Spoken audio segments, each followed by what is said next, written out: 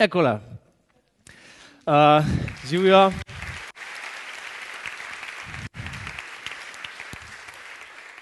To je bil čist, čist mehen, kratek motiv skladbe, ki mislim, da jo vsi poznamo po jezeru. Uh, in sem jo zaigral na tri, na hitro zbrane načine. Prvi je bil tak čist enostaven, skoraj nisem, sam melodijo sem zaigral, par tonov zraven. Uh, drugi način sem zaigral, da sem mal dodal par akordov, malo jazzy akordov, malo gospelovskega pridiha. No, tretji način recimo, je bil pa tak, um, rečemo, politonalen, da imaš v eni roki eno tonaliteto, v drugi pa drugo, pa tak arab, arabeskalen, da se nekaj hitrega, aha, mikrofon neha delati, ok, se pravi, ostajam nad to uh, višino. Uh, se pravi, tri načine.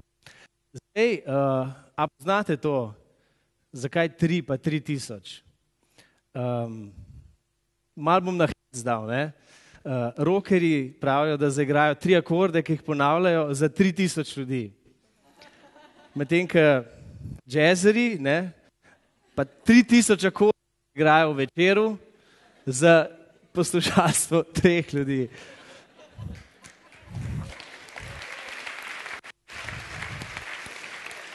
No, seveda so tle še klasičari. Ne?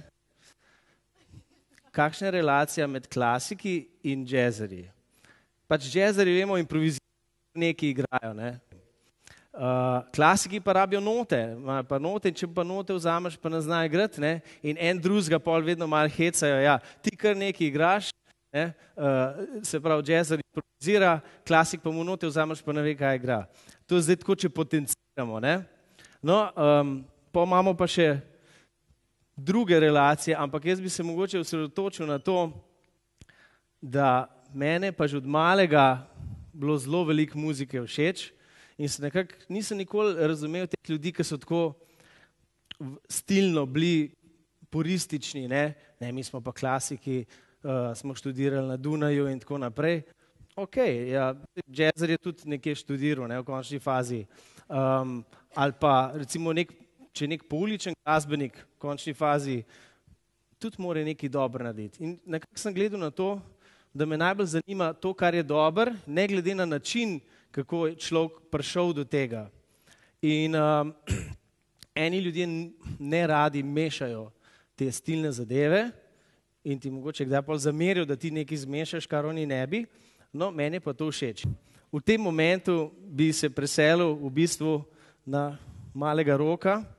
Uh, v naši familiji uh, glasbeni je oče skladatelj in smo od majhnega poslušali vse vrste muzike.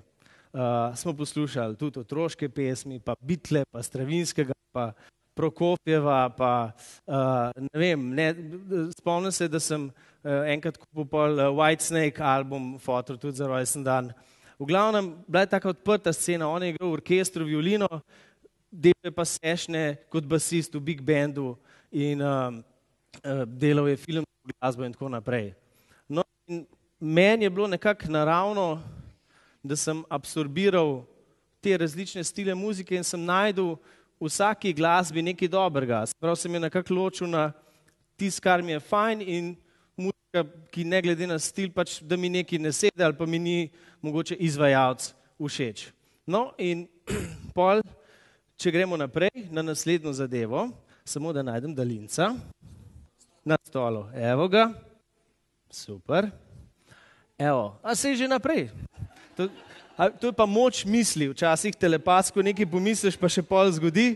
Zdaj pa vidim, če gre lahko slika nazaj. Ne, ja, gre zdaj, če bo dal. No, to je že ta malo obsesija z inštrumenti.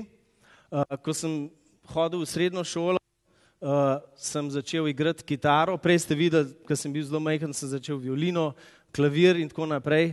Uh, ampak sem imel pri violini imel težave, čisto iskreno, nisem šel živo. Ne. Bil mi je fajn inštrument, imel sem tudi mogoče učitelja, ki je bil tako mal grob, ne, pa če si kaj fauž zaigral, ti je prišel, pa ti je, pa ti je mogoče roko stisnil ali pa ti je uh, stopil na nogo in pa se z enim mojim kolegom sva znala se pravočasno že odmakniti, ker si tako igral, pa si videl, aha, gre in si se znal pol odmakniti stran. Ne. In tudi tako. Ne.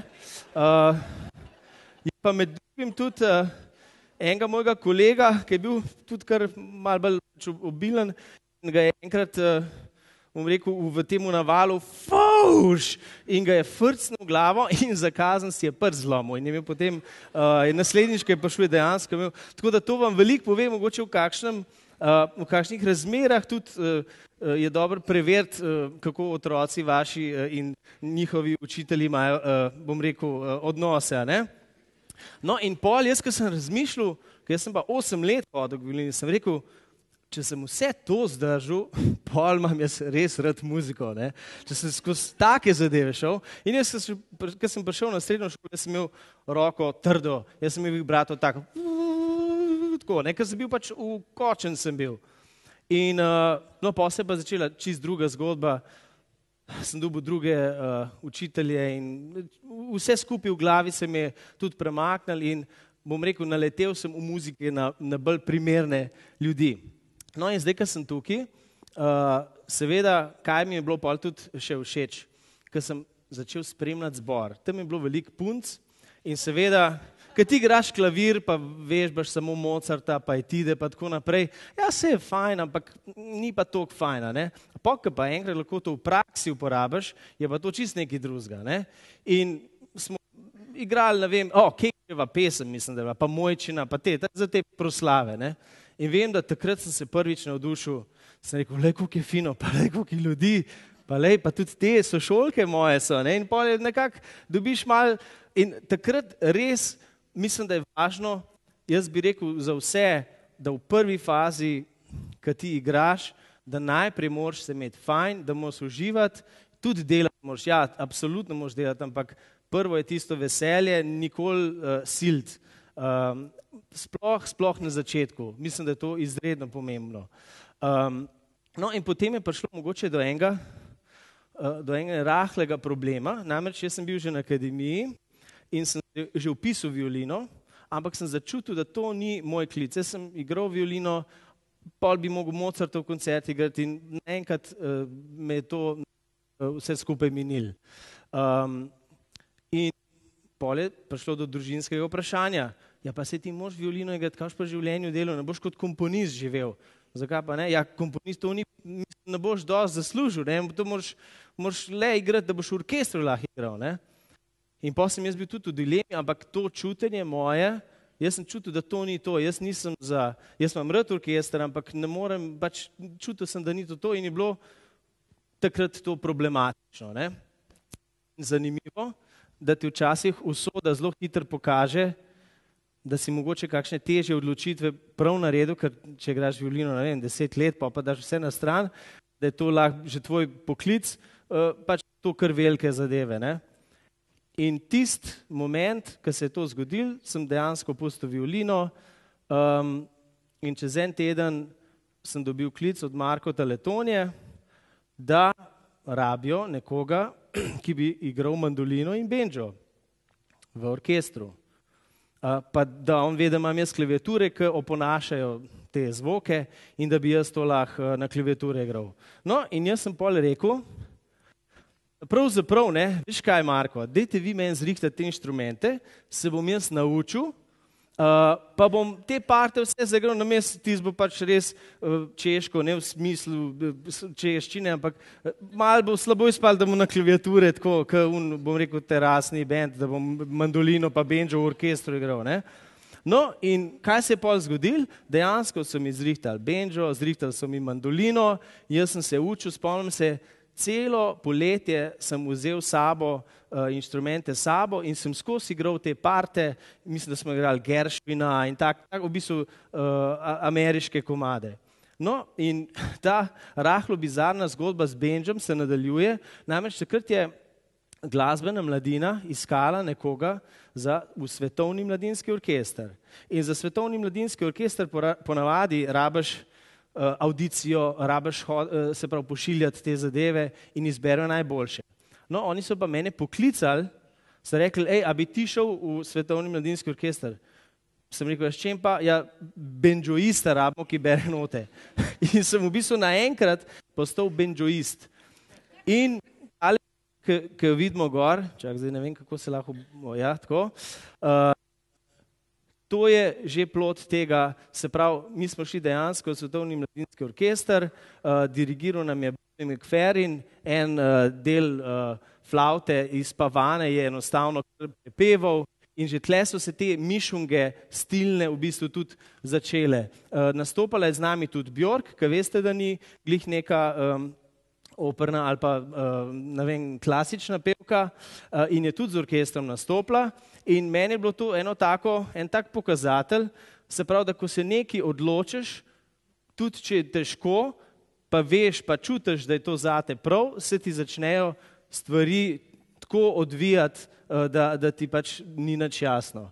To je tako, kot bi rekel, eh, ne, da greš ti lahko samo od vrat do vrat, ti ne moreš od dol skočiti na vrh stolpnice, ampak ti priješ do enih vrat in posle druge odpre in pola greš, ne moreš pa kar vem, preskakovati, pa prežagati, pa kar, kar robo kop skozi skoz vrata. Ne. In včasih se moraš odločiti pravilno za to, da potem pridejo prave energije in prave rešitve do tebe. No, in zdaj le grem naprej. Ta moment bom imenoval Ne bo deževalo. Um, Dubu sem uh, izredno lepo priložnost za otvoritev uh, festivala v Ljubljani, ki smo ga delali na gradu. Imeli smo uh, Big Band, revijski orkester, ubili so gostov, imeli smo tovkalce, Afir Bafir, so recimo, uh, niso, niso notalisti, ampak je to tako, oni so kot eno pleme tovkalcev, igrajo džem, vse možne eksotična tovkala. Um, no in samo ena zadeva je bila, jaz sem pred tem uh, eventom vprašal, je kaj pa če bo deževalo? In je rekel uh, direktor, ne bo deževalo. No, pa sem rekel, ampak vse, kaj pa če bo deževalo? Ne bo deževalo. No, uh, po dveh, treh dneh priprav, seveda, je dve uri pred vidijo tako deževalo, da so vse une naše vaje, vse je šlo navzdol, mešalka je bila mokra, uh, cel avtomatičen miks je šel stran in smo mogli novo mešalko in v bistvu smo mogli speljati koncert praktično brez vaje in s popolno novo opremo in uh, jaz sem bil v veliki dilemi, a bi šel v to ali ne, ampak tudi že ljudje, uh, hrana, mokra sicer, ker je deževal in um, in sem šel v to, pa ne vem, če je bilo pametno, ker je, ker je težko tako.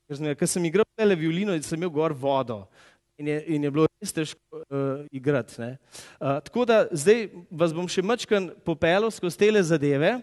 Uh, tole je otvoritev um, Evropske uh, kulturne prestolnice, se pravi v Mariboru to bilo. Takrat je bilo minus deset stopinj, ko smo mi to igrali. Uh, rekli so, da bo imel grelce, in grelci so bili, uh, ampak je bil eden tako na, na, na sred odra in vsi ostali so bili v volnena oblačila, godala igrati uh, in ostala godala, ne, in ostala godala pri teh temperaturah je zelo zahtevno. Ne? In zelo težko. Ampak smo speljali in hočem reči, da se včasih spravimo v zelo nenormalne zadeve, zato ker nas vod to, da bi nekaj novega naredili. V primeru smo imeli 30 harmonikašov iz Slovenije, iz Hrvaške, iz Avstrije, uh, imeli smo orkester, imeli smo super izvajalce um, in enostavno, ko imaš eno tako možnost, tudi če so razmere težke, uh, greš v to, ker ti je do, nekaj do tega, ker je ta energija, ta zanos te vod, da ti stvari hočeš narediti. Um, od spodi sem pa dodal še eno zadevo, ker govorimo o teh nekih mogoče bolj nenavadnih kolaboracijah. Uh, to je Magnifico, kot veste, uh, Montevideo, Bog te video, tudi veselo uh, je na turneji že nekaj časa. Um, mi smo za prvi film snemali muziko v Srbiji z vojaškim srpskim orkestrom. In jaz sem rekel Magnifico, ok, lejte v redu, ampak lej, a ne bi rekel filharmoniji, ali pa da mu reči simfoniko, imamo tle orkester.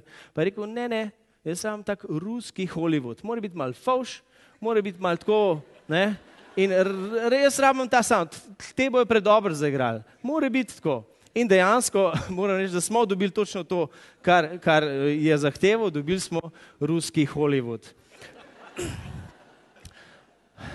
No, to je še eno od tistih projektov, imenuje se Simfonična ekstaza, ki uh, rabaš potem tri tedne, da prideš k sebi, da se skupaj pobereš in se staviš, ker si pač mogoče celo leto toliko energije v to uh, pač, uh, dal. Um, imeli smo okoli 120 izvajalcev, imeli smo zbor, imeli smo uh, simfonike in skupaj smo dali nenavadne kombinacije in veliko tega je bilo slovenskih, tudi narodnih, ki smo jih na nek poseben način naredili.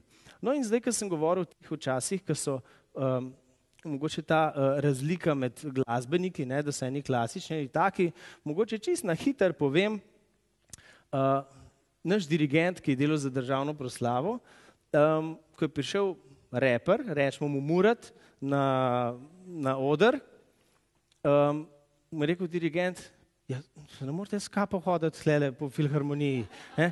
Ampak to je pač njegov stil. In jaz sem se rekel, ja, človek je vedno tako oblečen, to je njegov stil, ne? to je tako kot vi imate pa frak, ne? zakaj pa dajte vi frak dol, ne? se oni tudi nastopajo, vsi nastopajo, ampak to je vse v dobro, bom rekel, to so neke razlike, ki se zgodijo in ne veš zakaj, meni je to vse v redu. Ne pride, vsak ne pride, koga hoče, pa to, to bo zadevo naredil zanimivo.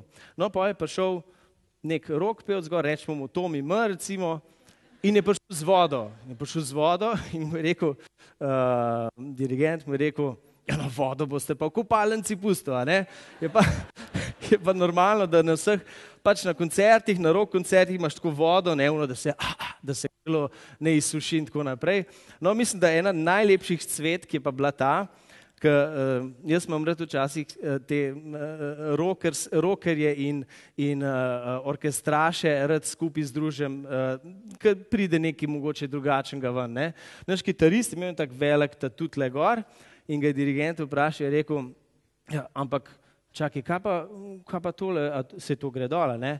Pa je rekel, ne, ne, ne, to, to je to tu, to ostane gor. Pa je rekel, ja se tu vam bo pa še žal, ne?